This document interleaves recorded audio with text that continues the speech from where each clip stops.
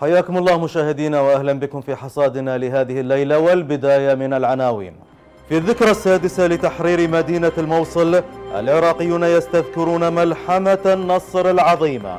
قانون العفو العام قنبلة موقوتة، تحذيرات من تنفيذه بصيغته الحالية ونوايا المطالبين هدفها مصالح سياسية.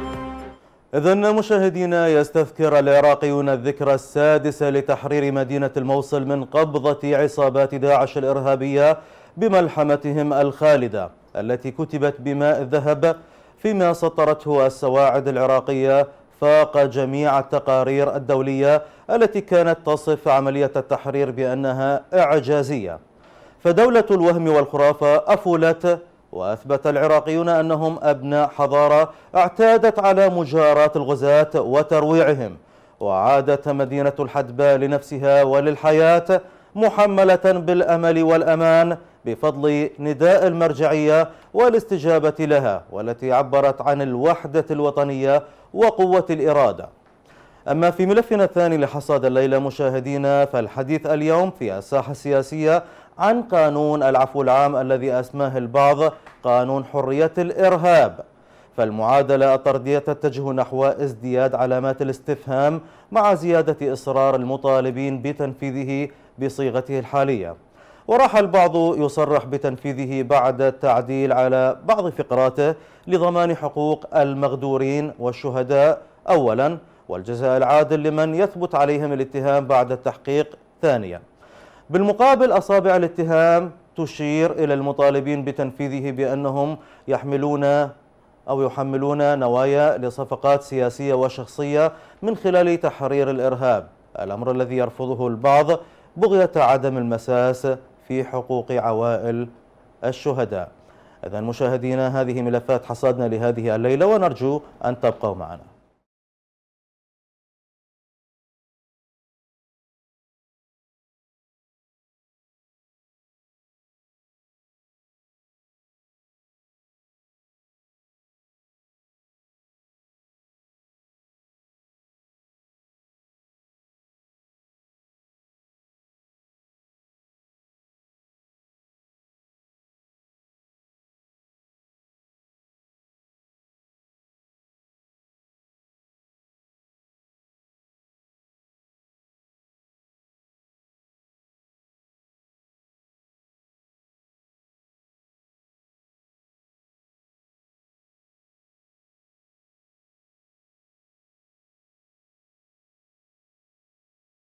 أهلا بكم مرة أخرى مشاهدينا وللحديث أكثر عن تفاصيل هذا الملف وهذه الذكرى. نرحب سوية بضيوفنا الكرام في الاستوديو الناطق باسم قيادة العمليات المشتركة اللواء تحسين الخفاجي. أهلا بكم سيادة اللواء وكل عام وأنت بألف خير بهذه الذكرى العظيمة.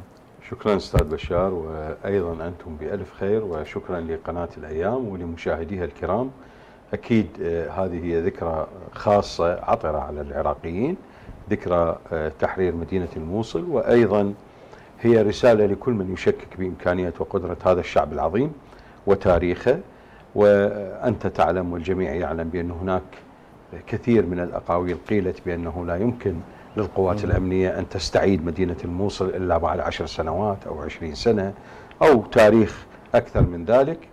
ولكن أثبتنا للعالم من خلال أولا فتوى المرجعية الرشيدة ومن خلال مؤازرة شعبنا بكل أطيافه آه، والشهداء الذين آه، قدمت أرواحهم من أجل هذا الوطن بأننا شعب آه، قاتلنا نيابة عن العالم وشعب استحقينا أن نكون لدينا تاريخ سبعة آلاف سنة استحقينا أن نكون الشعب رقم واحد بالعالم لأننا استطعنا أن نحرر بلادنا من دنس الإرهاب ودنس أعتى هجمة إرهابية شهدها التاريخ.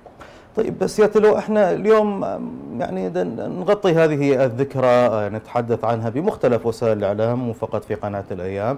مو بهدف الاحتفال كاحتفال إنما للاستفادة كدروس وعبر آه، من هكذا أحداث في تاريخ آه، البلد.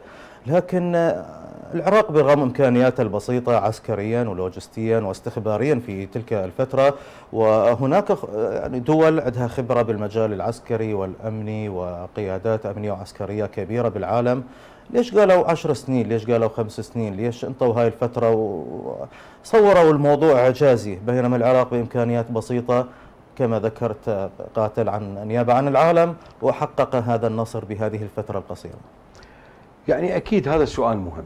وهذا السؤال يحتاج إلى المشككين فينا وفي إمكانياتنا وقدراتنا وليس فقط في نحن كعراقيين وإنما كل شعوب العالم الحرة اللي لديها إمكانية وقدرة وإرادة على صنع النصر وهي مؤمنة بالقضية التي من أجلها تقاتل أن تصنع المستحيل. وهذا ما آه، الحقيقة ترجمناه إلى كل شعوب العالم وكل شعوب الأرض المحبة للسلام. بأننا بالرغم من الإمكانيات اللي تفضلت بها يعني في ذلك الوقت إحنا ما كان عندنا سلاح جوي ولا كان عندنا إمكانيات وقدرات عالية في مجال طيران الجيش ولا كان عندنا إمكانيات وقدرات عالية في مجال التسليح والتجهيز. ولكن كنا نقاتل ونبني إمكانياتنا وقدراتنا في مجال التسليح والتجهيز والتدريب. كنا نقاتل ونقوم بعملية إيصال الأمل إلى المحافظات التي كانت تئن تحت وطأة تنظيم داعش الإرهابي من خلال إلقائنا لملايين المناشير ووعدناهم بأننا قادمون وسوف نقوم بتحريرهم وفك آه، الحقيقة أسرهم من هذا التنظيم الوحشي. لذلك إرادتنا للقتال وإيماننا بقضيتنا حبنا لبلدنا ولتاريخنا هذا الحقيقة هو أكبر درس نعطيه لكل من يشكك بإمكانياتنا وقدراتنا كشعب عراقي. نرحب أيضا بضيفنا ينضم لنا مباشرة معاون مدير عام مديرية إعلام هيئة الحشد الشعبي السيد مهند حسين. أهلا بك سيد مهند وكل عام وأنت بألف خير. وأود أن تحدثنا عن مرحلة وخطوة ومفصل مهم بعملية هذه الملحمة التي خاضها العراق ضد عصابات الإرهاب عصابات داعش الإرهابية. هي فتوى الجهاد الكفائي إلى أي درجة شكلت دفعة أو دافع للعراقيين بشكل عام لخوض هذه الملحمة والانتصار فيها. بداية أرحب بك وبضيفك الكريم ونهنئ العراقيين جميعا بهذا اليوم وهو يوم انتصار الحق على الباطل وعودة الموصل إلى أرض البلاد. الفتوى كانت لها تأثير كبير بل كانت حجر الأساس لكل العراقيين باعتبار أن الذين لبوا الفتوى الجهادية المباركة أصبحوا فيما بعد هم تحت آه، يعني تنظيم وترتيب هيئة الحشد الشعبي هذا نعم. هذه آه، يعني المؤسسة المباركة ترجمها شهيد القائد الحاج أبو مهدي المهندس أفضل ترجمة وعمل على أن تكون مؤسسة أكاديمية مؤسسة آه، رصينة. والحمد لله اليوم هذه المؤسسة يشار لها بالبنان. ولا ننسى آه، في نفس الوقت هذه التضحيات التي قدمها أبناء الحج الشعبي بالتعاون والتلاحم مع باقي القوات الأمنية الذين كانوا خير عون وخير سند آه، مع الحج الشعبي. ولا ننسى كل الخدمات التي قدمها الجيش العراقي البطل لا سيما طيران الجيش الذي وفر الغطاء الجوي آه، الذي دعم الحشد الشعبي في التقدم إلى المناطق التي كانت تحت آه، آه، وطأة داعش. الحمد لله هذا التلاحم هذا التعاون هذا التحدي الكبير الذي واجهه أبناء العراق حقق الهدف الذي كانت تسعى إليه المرجعية من خلال هذه الفتوى المباركة أي أن هذه الفتوى وصلت بالبلاد إلى بر الأمان وتحقق النصر وتحققت الوحدة التي كان يصبو إليها كل العراقيين واليوم نرى العراقيين جميعا ليس فقط على مستوى المؤسسة الأمنية هم متلاحم في كل المؤسسات الحكومية نجد أن أنه بدأوا فعلا وواقعا بدأوا ينبذون الطائفية وينبذون كل ما كان يعمل الاحتلال وغير الاحتلال على زرعه بين أبناء الشعب العراقي لا. نعم. وهذا هدف كبير حققته المرجعية من خلال هذه الفتوى المباركة طيب. وتأسيس الحشد الشعبي طيب تأسس الحشد الشعبي وأثبت ببطولاته التي خاضها قدرته على تحقيق الانتصار بالتعاون مع بقية الصنوف القوات الأمنية الأخرى. آه، لكن كان هناك دور مهم أيضا للتحالف الدولي أو القوات الأمريكية خلينا نحكي بصراحة بهذه المعركة ضد الإرهاب. لكن ليش ما كان أكو تعاون ما بين قوات الحشد الشعبي والقوات الأمريكية أو التحالف الدولي لدحر الإرهاب؟ حتى كانت هناك يمكن اعتداءات من قبل الأمريكان والطيران الأمريكي على قواتكم أكثر من مرة. قدر تعلق الأمر بهيئة الحشد الشعبي فإن المعطيات كانت تشير على أن التحالف أو ما يسمى بالتحالف الدولي نعم. لم يكن آه، يعني يعمل بشكل حقيقي لإخراج العراق من هذه الأزمة. وكانت أولها أنه حتى الإعلام الذي كان يتبناه التحالف كان يصف آه، داعش بثور عشائر وهي معلومة مغلوطة. كانوا يعملون على إثارة هكذا فتنة داخل البلاد. هذا من من آه، من باب أول على مستوى الإعلام. على مستوى آه، دخول التحالف إلى العراق فإن الدواعش وعصابات داعش دخلت إلى العراق من خلال الحدود السورية تحت أنظار كل الكاميرات والمناطيد والأقمار الصناعية التي تتحكم بها آه، الولايات المتحدة الأمريكية والتحالف الدولي. وهذا واضح للعيان ويشهد عليه الجميع. كذلك تصريح آه، باراك نعم. أوباما. آنذاك كان كان يقول أن هذه الحرب مثل ما تفضل آه، لواء تحسين الخوارج فعلا تحتاج إلى سنين كثيرة لخلاص العراق من داعش. وهي معلومة مغلوطه واقعا كل هذه المعطيات كانت تشير وتدل على أن هذا التحالف لم يكن جادا في تخليص العراق من هذه الأزمة. والذي أثبت هذا المغالطة هي آه، آه، استهداف هذا التحالف لبعض قطاعات الحشد الشعبي على الحدود العراقية السورية وفي بعض الأماكن الذين كانوا يستوطنون بها الحشد الشعبي ويدافعون بها عن البلاد. كل هذه المعطيات تشير على أن هذا التحالف لم يكن جادا آه، طيب. في دفع هذا الخطر عن البلاد. طيب. قلت لك سيادة اللواء مثل ما ذكر أستاذ مهند أنه الإرهاب دخل أو داعش دخل من الحدود السورية للعراق لكنه وجد حاضنة انتشر آه، بوقت قياسي. بحديثنا كما ذكرنا بداية الحلقة آه، إحنا نريد نستذكر يعني كدروس وعبر نستفادها. شنو الظروف اللي أدت إلى انتشار داعش بهذه المناطق الشمالية الموصل وغيرها؟ بهذه السرعة بحيث القوات الأمنية ما لحقت تتخذ أي خطة أو أي إجراء يعني أولا أستاذ بشار مقارنة بسيطة ما بين إمكانيات وقدرة القوات الأمنية قبل عام 2014 وبعد عام 2014 يعني. نعم. إحنا نتحدث قبل 10 6 عام 2014 وبعد 10 6 عام 2014 ومثل ما تفضلت جنابك هي دروس وعبر م.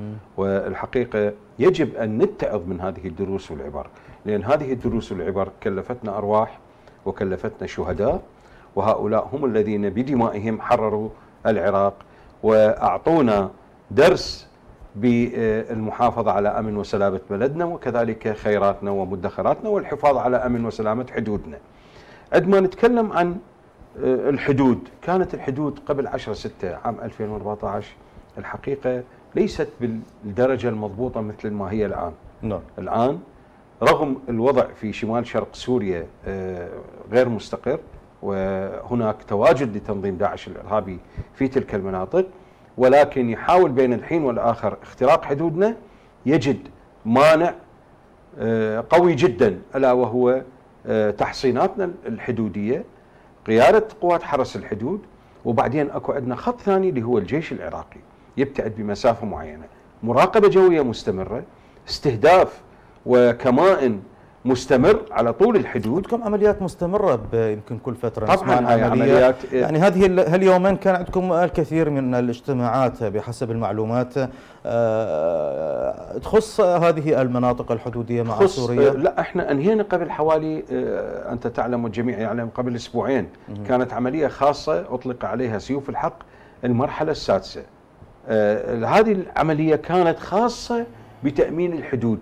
وخاصة بجعل حدود العراق الدولية اللي هي قيادة عمليات الجزيرة الأنبار وغرب نينوى.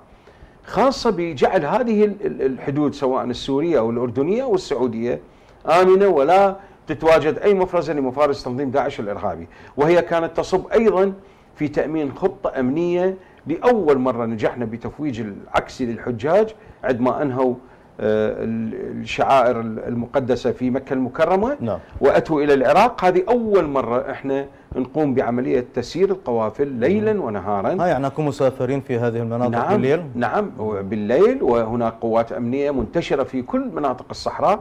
وهذا ما أثبت بأننا عازمون وقادرون على ملاحقة من تبقى من هذه الجيوب في تلك المناطق. لذلك إحنا عندما نقارن ما بين إمكانياتنا وقدراتنا في تلك الفترة والآن الحقيقة كان هناك آه، كثير من الفوارق. كنا لا نمتلك سلاح جو الآن نمتلك سلاح جو.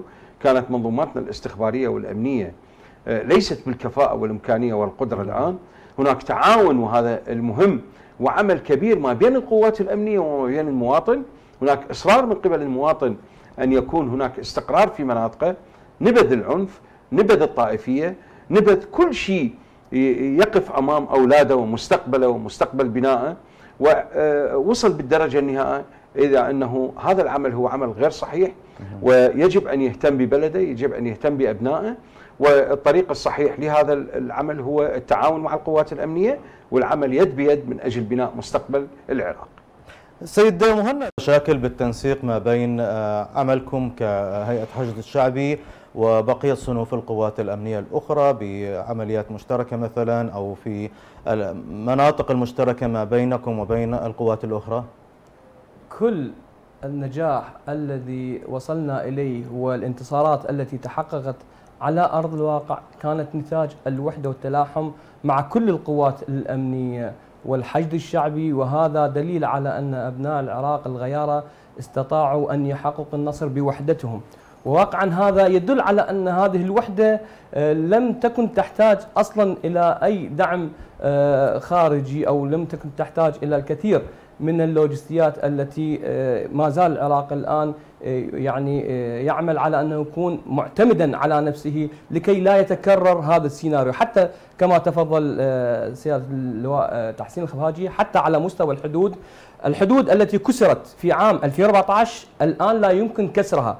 بوجود القوات الأمنية والحشد الشعبي وهذا التلاحم وهذا التعاون هو واقعا يشكل رأس النفيضة والآن كل الأعداء ليس فقط داعش أو التنظيمات الإرهابية كل الأعداء أو كل من يفكر على أنه يعني يتدخل في العراق الآن هذا الأمر أصبح ممنوع جدا. يفكر آه، لمرة ولأكثر من مرة بأن هناك قوات أمنية متعاونة ومتحدة وهناك حشد شعبي قوي. آه، يعني يمنعه من أنه يصل حتى إلى الحدود. وهذا على أرض الواقع تحقق كل العمليات التي كانت تحدث قبل 2014 بما فيها عمليات كسر الحدود. الآن لا نسمع ولا ولم نرى أي آه، وجود لهكذا عصابات إرهابية لمدة تقريبا تسع سنوات. وهذا نعم. أصبح واقع جديد فرضه العراقيون جميعا.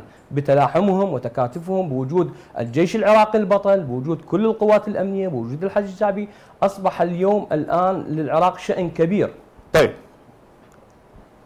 فضل الحشد الشعبي معروف سيد مهند لكن الاعتراف به كقوة آه، عسكرية تابعة إلى الدولة إلى أي درجة أضاف دافع وقوة للحشد الشعبي؟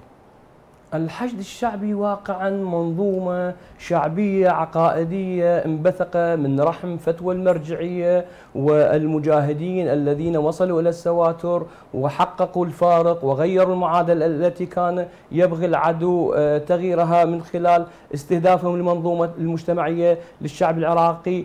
اليوم نجد أن الحج الشعبي يشار له بالبنان ليس فقط على مستوى العراق وإنما حتى على مستوى الوضع الإقليمي على مستوى الدول العربية. اليوم الحج الشعبي واقعا يعني يعتبر رمز من رموز الأمة العربية.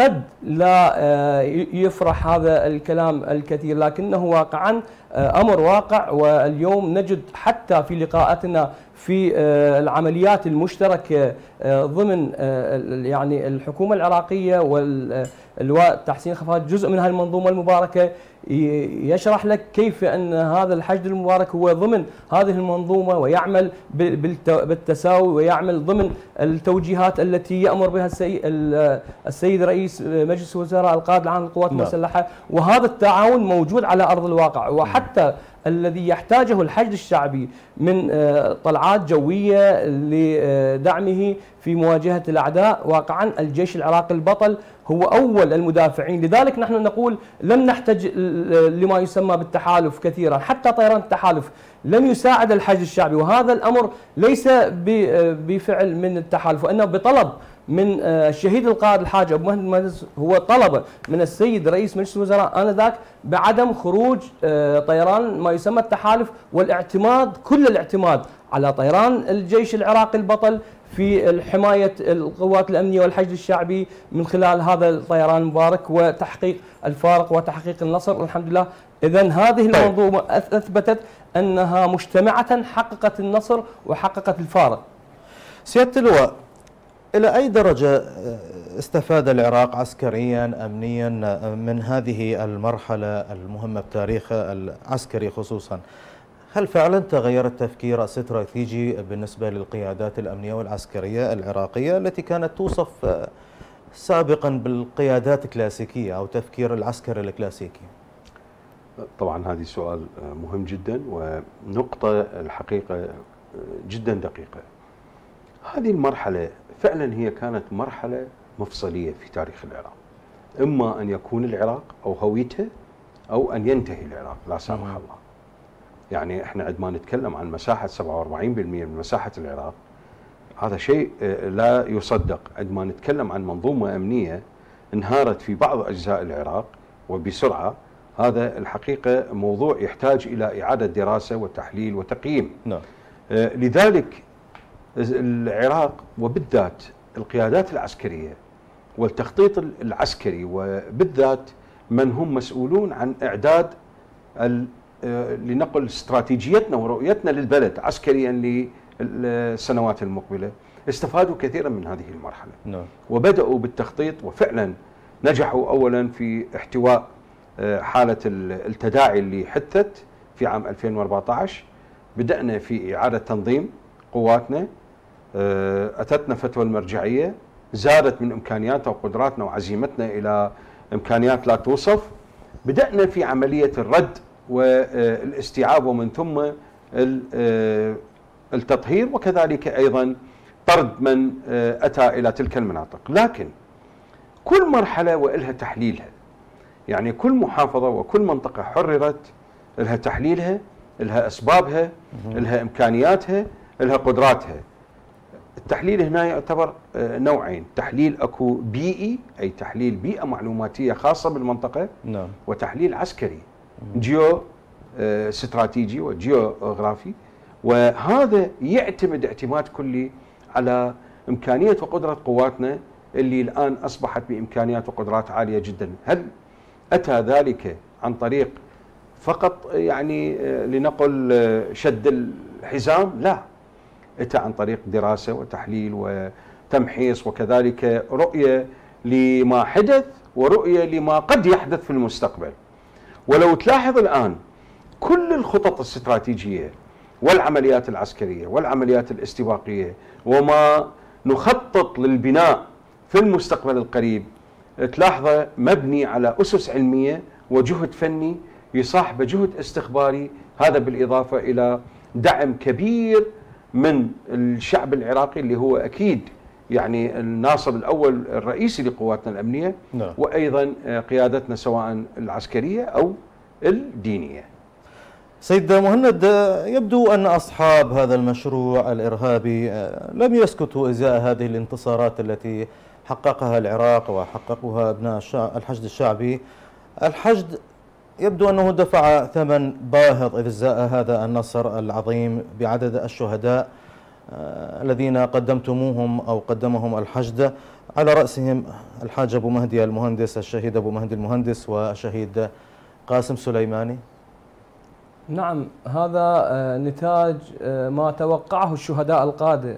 لذلك كانوا القادة مصرين على أنه الحشد الشعبي من خلال مسيرته وانتصاراته لا يحتاج إلى غطاء جوي من ما يسمى التحالف. لذلك كل الانتصارات تحققت بوجود أبطال آه، طيران الجيش العراقي والحمد لله كانت النتائج إيجابية وكان النصر يتحقق على يد هؤلاء الأبطال مع الحشد الشعبي. لكن آه، في طلعة واحدة غادرة من آه، قوات الاحتلال الأمريكية من خلال هذا الطيران المسير استهدفوا قادة النصر هؤلاء القادة الذين حققوا النصر على عصابات داعش لم يرق هذا النصر إلى قوات الاحتلال لذلك كان رد الاحتلال الأمريكي على هؤلاء القادة الذين حققوا النصر أن يتم اغتيالهم.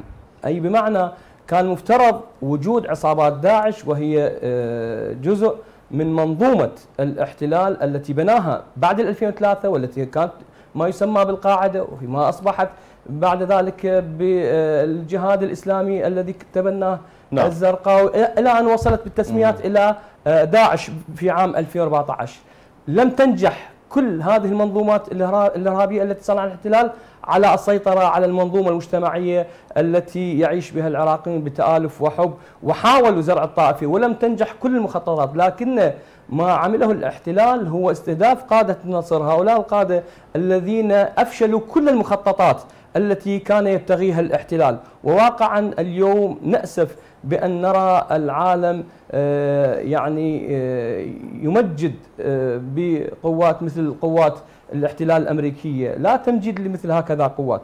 طيب. قوات الأمريكية قوات محتلة وواقعا بالإضافة إلى قوات الاحتلال. هنالك منظومة مجتمعية فاشلة تتبناها الولايات المتحدة الأمريكية. اليوم على لسان رئيس أمريكا بايدن يعلن أن الولايات المتحدة المثلية ان صح التعبير لأنه أعلن أن الولايات المتحدة الأمريكية هي تدعو إلى المثلية وهذا فشل حقيقي في المنظومة المجتمعية الأمريكية. لذلك نحن لا نقبل أن يكون هنالك بسطال آه، جندي أمريكي واحد في العراق ونحن نرفض أن طيب. يكون في العراق هكذا قوات. الشكر الجزيل لكم معاون مدير عام مديرية إعلام هيئة الحشد الشعبي السيد مهند حسين. كنت ضيفا كريما والشكر الجزيل لكم. الناطق باسم قيادة العمليات المشتركة سيادة اللواء تحسين الخفاجي. وختاما يمكن العراق قدم بمختلف مراحله آه، تاريخ الكثير الكثير من الشهداء. نسأل الله تعالى الرحمة والخلود لشهداء العراق. إذا مشاهدينا ننتقل سوية إلى ملفنا الآخر من الحصاد وأبرز ما فيه. إذن مشاهدينا بين مصالح سياسية وصفقات انتخابية المطالبون بتنفيذ قانون العفو العام في دائرة الاتهام بعدم الاهتمام لمصالح الشعب كون الإفراج عن الإرهاب يعيد البلد للقتل والدمار. بالمقابل هناك ما يطالب بضرورة تنفيذ الحكم على المحكومين والتحقيق مع الآخرين لإصدار الحكم القانوني بحقهم. ونطالع هذه التفاصيل مع الزميلة نهى الشمال يعود قانون العفو العام مجددا على طاولة الخلافات السياسية وعدم الحصول على الاتفاقات النهائية. التي تشرع هذا القانون. فعلى تعاقب المراحل السياسية يثير جدلا كثيرا بين معارضين ومطالبين بإقراره. بالوقت الذي ترى بعض الأوساط السياسية أن تشريعه بصيغته الحالية يعد تأييدا للإرهاب والمراقبون يطالبون الحكومة الحالية بالتوازن في القرارات بعيدا عن الضغوط السياسية. يعني آه، لابد أن يكون هنالك توازن في عملية الإدارة السياسية. الإدارة السياسية ليس فقط على السلطة التنفيذية والسلطة التشريعية إنما على التوافقات السياسية أن لا تبنى على آه، حساب العدالة الاجتماعية المقرة دستوريا وقانونيا وبالتالي هنالك ضحايا آه، كثيرون وبالتالي احترام هذه الحدود يجب أن يكون في السياقات السياسية وأيضا في التطبيقات القانونية والدستورية. حتى لا يكون هنالك تفاوت على حساب شريحة على شريحة أخرى. فبين جرائم جنائية وقضايا الإرهاب آلاف المحكومين في السجون يطالب البعض بالعفو عنهم دون التحقيق في قضاياهم. الأمر الذي دفع المتابعون للساحة السياسية باتهام المطالبين بالعفو العام بأن لهم نوايا ودوافع سياسية وانتخابية يعولون على تنفيذ هذا القانون متناسين حقوق الشهداء وعوائلهم التي تطالب بالقصاص عن القتلة ممن يثبت عليهم الجرائم. أعتقد أنه على الحكومة أن تتناغم بشكل آخر مع عوائل الشهداء مع آه، عوائل الذين ذهبوا ضحية الإرهاب. يعني اليوم يقع في سجون أكثر من عشرة آلاف إرهابي وأغلبهم محكومين بحكم الإعدام. قانون العفو العام بشكل الحالي حقيقه مرفوض من اغلب الكتل السياسية وخصوصا الكتل الكتله السياسية الأكبر في البرلمان. الاطار التنسيقي يعني بصيغته الحالية حقيقة مرفوض. فالمصالح السياسية والحزبية تعيد إثارة ضجة العفو العام بمطالب تنفيذه على جراح عوائل المغدورين والشهداء. خصوصا وأن بعض فقرات القانون تكون بمثابة قنابل موقوتة. تفجيرها كفيل بأن تعيد الحرية للإرهاب ليعيدوا مجددا القتل والدمار بأوجه مختلفة في البلاد. نهى الشماري. أهلا بكم مرة أخرى مشاهدينا وللحديث أكثر عن تفاصيل هذا الملف نرحب سوية بضيوفنا الكرام في الاستوديو رئيس مركز الاتحاد للدراسات دكتور محمود الهاشمي وكذلك الترحيب بالقيادي في تحالف الأنبار الموحد الدكتور محمد دحام عبر سكايب. أهلا بكم دكتور محمد. أبدأ معك بداية دكتور محمود الهاشمي. قانون العفو العام أو قرار العفو العام ما هو هذا القانون أو القرار الذي يطالب به البعض؟ العفو عمن بسم الله الرحمن الرحيم. تحية لكم برنامجكم الموقار مشاهديكم الكرام وضيفكم الكريم آه، من الأنبار أيضا سيدي الكريم القانون العفو العام في بعده هو إنساني. إذا ما أرادت أن تصدره الدولة تصدره لأسباب. نعم. مثلا أنك كنت في حكم دولة مستبدة دفعت بالآلاف من أبناء شعبك إلى السجون والمعتقلات. تتغير المعادلة السياسية وتجد نعم. أن هؤلاء مظلومون. فيحق أيضا أن تخرجهم لأنهم هم ضحية مرحلة. السياسي والجنائي؟ يعني ممكن أطلق سراح السجناء قد السياسيين تعتبر المرحلة لكن ممكن. أدمج وياهم لا، قد الجنائيين تعتقد أنت بالمرحلتين. أن الكثير حتى من هؤلاء قد دفعوا ولكن في بلدنا عام 2008 أصدروا عفوا عاما نعم. هل جاء هذا العفو العام نتيجة رضا عام من كافة الكتل السياسية باعتبار أن هؤلاء يستحقون أن يطلق سراحهم؟ طبعا لا. حوصروا في عام 2008 حوصرت السياسيون بمعادلات معقدة من ضمنها من ضمنها معادلة أنه لن أصادق على الموازنة إلا بإطلاق سراح هؤلاء. فأسموها يومها بالسلة الواحدة. نعم. ثلاث قوانين في سلة واحدة ما علاقة خبزة الشعب والموازنة أن تحطها مع قانون العفو العام. بعد أن تم إطلاق سراحهم علق السياسيون يومها بأن الإرهابيين قد تم إطلاق سراحهم وعادوا إلى عملهم بعد أسبوع وهذا على لسان أعتقد السيد مالكي كان في وقته. عام 16 أيضا تم إطلاق سراح أو عفو عام. نعم. وأيضا سياسي بالصرف. يعني ما كان في بعد كذا بعد كذا وكأنما هي طائفة على حساب طائفة أن يطلق سراحهم لأن هؤلاء طائفة مظلومة أو كذا وهذا خطأ. يا إما جميعا أن نتفق باعتبار القضية ما بها بعد طائفي قضية إنسانية. وإلا أنه أنت تأتي أنه نواب الم- المناطق مثلا الغربية يوافقون على قانون العفو العام نعم. ونواب المناطق الجنوبية والوسط يرفضون. طبعا هذه نوع من الطرفة. هي قضية إنسانية.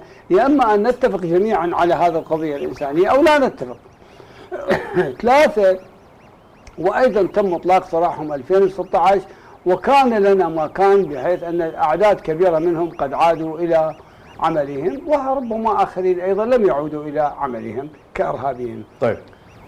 أنت عندك ضحايا من هم الضحايا؟ هم الضحايا الأسر التي آه، ذهب أبناؤها وآباؤها ذوي الشهداء ضحية نعم. هؤلاء الإرهابيين إحنا في ملف السجناء عندنا مشكلة ما هي المشكلة؟ أن أعدادا كبيرة منهم ما زالوا في داخل السجن والدولة تنفق عليهم يوميا كذا ألف يعني سنويا كذا ألف دولار. وهو أيضا ت- عدم تنفيذ الأحكام طيب. أحكام الإعدام و- مثلا.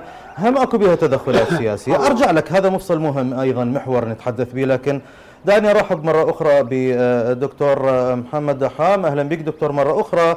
وقانون العفو العام ليش دائما آه، يعود إلى الواجهة والحديث برلمانيا وسياسيا واعلاميا قبل كل الانتخابات؟ بداية مساء الخير لقناتكم ولكم وللضيف الكريم. مساء لكم الخيرات جميعا. حياك الله. أعتقد إنه قانون العفو العام هو جزء من ال- السياسة الجنائية في أي دولة. نعم. ولكن نحن قانون العفو العام لربما يختلف عن القوانين الدول الأخرى لكون العراق تعرض إلى هجمة أمنية كبيرة من قبل المجاميع الإرهابية. وكان ضحية هؤلاء هو أنه أغلبية الشعب قد تعرضوا إلى ويل.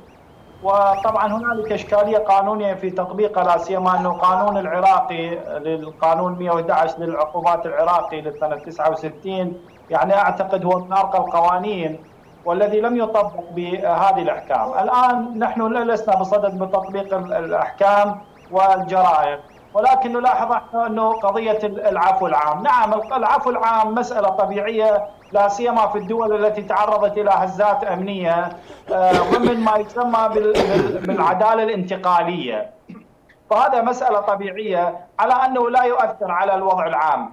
طيب. المبررات طبعا مبررات كثره عدد المعتقلين في السجون بالآلاف وهم يرزحون إلى يعني قضايا آه، يعني وإحنا بالأصل عندما وضعنا السجون وقمنا بإقامة الأحكام هي الغاية من يعني أن نعدل من النفس البشرية وأن لربما هنالك بعض الأحكام التي آه، عادت تأهيل هذا الإنسان مرة أخرى وإدماجه في المجتمع.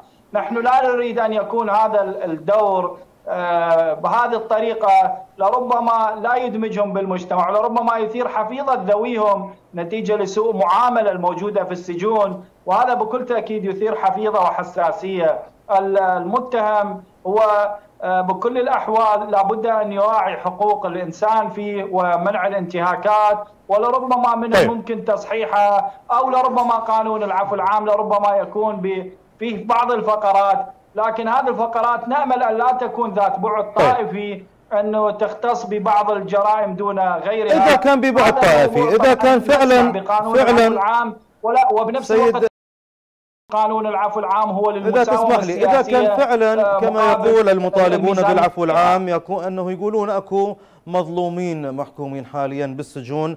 طيب آه، إذا كان فعلا مو إطلاق آه، عشوائي للمحكومين والإرهابيين وغيرهم الإرهابي وجنائي وغيره بشكل عام إطلاق العفو عنه. إذا كان فعلا مظلوم مو المفروض آه، نعيد محاكمته من جديد. إذا كان أكو مظلومين بالسجون بأعداد كبيرة كما آه، يدعي المطالبون بتنفيذ آه، قانون العفو العام مو لازم أكو قضاء نحاسبه شلون خلى مظلوم بالسجن وأدانه؟ والله هذا الموضوع هذا موضوع آخر. إحنا عندما نتحدث عن مظلومية ناس يعني إذا هو بريء وحاكمينه بأحكام هذا يعني يعني لربما يثير حفيظة أكبر من هذا الموضوع لأنه هذا الموضوع بظلم. هم دا يطالبون بتنفيذ قانون العفو يقولون يعني. حجتهم أنه أكو مظلومين بأعداد كبيرة في السجون. يعني لا وفعلا يعني إنه إحنا عندما نتكلم عن مجرمين أو جريمة بذاتها الجريمة لديها أركان. فبالتالي إنه بعض الجرائم من تتحقق أركان الجريمة. فواحده من أركان الجريمة إنه لابد أن تسند إلى القانون وبالتالي آه، نحاكمهم.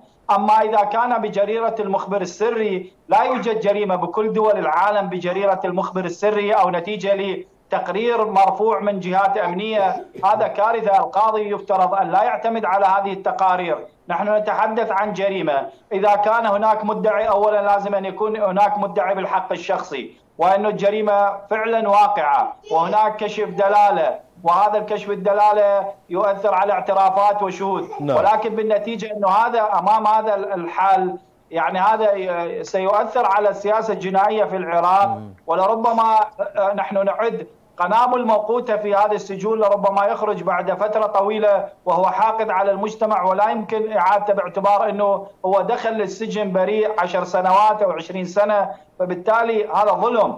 أما نتحدث عن قانون العفو العام العفو العام هو يشمل حتى المفروض المجرمين المحكومين الذين إلا اللهم إذا كان هناك ملطخ فعلا بدماء الأبرياء ولا يوجد مقابل ذلك تنازل أو لربما المدعي بالحق الشخصي متمسك بذلك. أعود لك دكتور محمود كما وصف هذا القانون بأنه قانون حرية الإرهاب. شلون قانون حرية الصحافة وحرية الحصول على المعلومة؟ قانون حرية الإرهاب. لكن ممكن أن يطلق فعلا سراح إرهابيين بهذه المرحلة كما حدث بمراحل سابقة تتحدثت بها.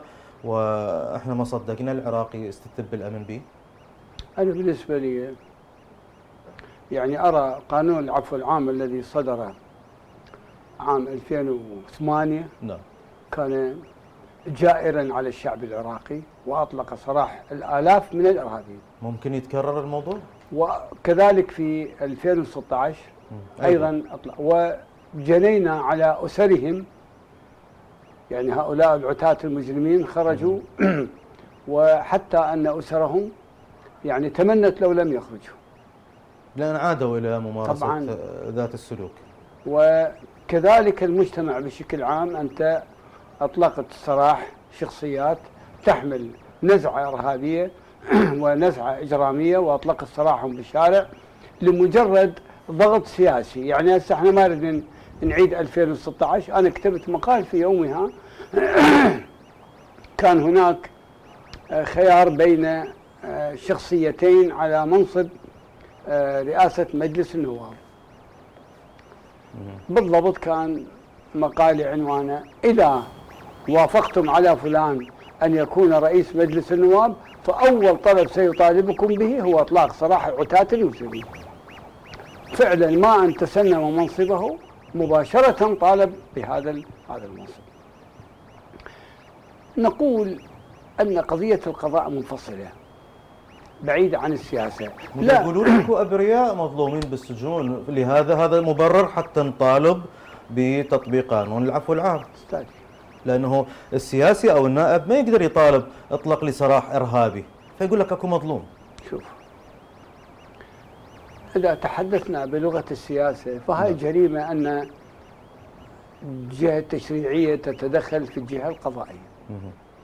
هسه هذا حكم الحاكم القاضي آه، كان يعني غير منصف غير ما منصف هذا القضاء يتحمله مو إحنا مو إحنا نتحمله يعني ولكن هل هو واحد اثنين عشرة أنت تطالب بإطلاق سراح هاي الآلاف كلها وتريد أنت في نفس الوقت حتى يعني آه، تكافئ من جهات خارجية أو داخلية. تطلق سراح هذه على حسابي أنا المواطن يعني المواطن اللي أعيش الآن بأمن وأمان. وهذه الفسحة البسيطة من الأمن التي حصلت عليها بسبب اعتقال هذه الآلاف. طيب ثم ماذا تقول للجهات الأمنية التي ألقت القبض عليهم؟ الآن إحنا دفعنا دماء من أجل إلقاء القبض على هاي الشخصيات الإرهابية. أنت تريد تعيدهم؟ هسه ممكن أنت الآن تصدر هنالك مثلا على سبيل المثال خرج وزير الداخلية. نعم. وزير الداخلية قال بأنه 55% قال إن لم أقل أكثر هؤلاء إما أنهم يتاجروا بالمخدرات أو يتعاطون بالمخدرات. طبعا رقم كبير. أن يصل من الخمسين إلى ستين أقل أو أكثر من الشعب العراقي هذه غزوة أجنبية ربما تدخلات ربما مخطط ربما كذا. الآن امتلأت السجون بهؤلاء. هسه ممكن هؤلاء أن تعيد نظر مثلا. واحد عليه مخدوم يعني مثلا فد عشر سنوات. أخ قطع منه ست سنوات قطع منه سبع سنوات. هسه ممكن تساعده باعتبار هذا مخطط خارجي تام على الشعب لكن مو نعم. الارهابي الإرهاب عقيده الإرهاب عقيدة انتمى لها الإرهابيون لعقيدة. هي تعني القتل تعني الطائفية تعني التدمير تعني وإلا ماذا يعني واحد يأتي بسياره ويفجر سوق كامل يقتل الناس؟ هذه عقيدة هو شالها مو جنون بالنسبة له شلون تعيده شنو اللي سوت له بالسجن حتى تعيده مرة ثانية؟ هذا بعد عشرة أيام يرجع نفس العقيدة هو شايله ولذلك يا أخوان يا سياسيين يا نواب لا تتدخلون تجيبوا الملف السياسي يدخل على الملف القضائي وتسوون لنا مشكلة. هاي اولا. ثانيا أنتم الآن قد اتفقتم سياسيا قبل كل الحكومة أنه أنتم اذا أنا يعني أنتم العدد ما يكفي من المقاعد. أنا أضيف لك على شرط أنه أنت العفو العام. إحنا شو لنا علاقه بكم كسياسيين؟ طيب اتفاقات سياسية موجودة لا ربما علاقه ربما يعني كسياسي لا ما خلينا, خلينا نحكي مع آه، سيد آه، محمد عن عوائل المغدورين. آه، دكتور محمد عوائل المغدورين الشهداء دماء الشهداء ما حد فكر بيهم؟ والله الموضوع يعني خصوصا في هذا قضية المغدورين يعني والمغيبين قضية حساسة جدا. يعني وتخضع للمزاجات السياسية. هذا المفروض أن لا يخضع هذه القضية للمزاجات السياسية وإنما يجب أن تكون هنالك لجنة لحقوق الإنسان ولجنة للقضاء العراقي وأيضا بإشراف الأمم المتحدة. فيجب أن يتم الكشف عن مصيرهم. يعني تعرف أنت حتى الشخص المتهم أو المجرم عفوا نعم. يعني هو لديه يعني ارتباطات اجتماعية يعني من زوجة وأبناء. هذا يعني واحدة من حقوقه أنه لازم تصدر له شهادة وفاة. فكان من باب أولى يعني أن تكون هنالك مطالبات بحل هذا الموضوع يعني بعيدا أيضا عن المناكفات السياسية، هذا الموضوع يعني المغيب قسرا يعني ما نقدر نتهمه إنه إرهابي، يعني إحنا إذا نريد مثل ما تفضل الزميل، إحنا عندما نتحدث عن ارهابي يجب أن يكون منطبق عليه الجريمه الارهابيه كاملة وفق الأصول القانونية ومن ثم يتم محاكمته. أما المغيبين لحد هذه اللحظة هو هذا عمل غير صحيح ومغيب ولا نعرف مصيره وبالتالي لا هو مجرم وتم محاسبته ولا هو بريء وتم تبرئته الشكر الجزيل لكم القيادي في تحالف الأنبار الموحد الدكتور محمد دحام كنت ضيفا كريما عبر سكايب والشكر الجزيل لكم. رئيس مركز الاتحاد للدراسات دكتور محمود الهاشمي شكرا لحضورك دكتور. والشكر الجزيل لكم مشاهدينا إلى هنا وصلنا وإياكم وضيوفنا الكرام إلى ختام حصادنا لهذه الليلة وإلى اللقاء في حصاد آخر.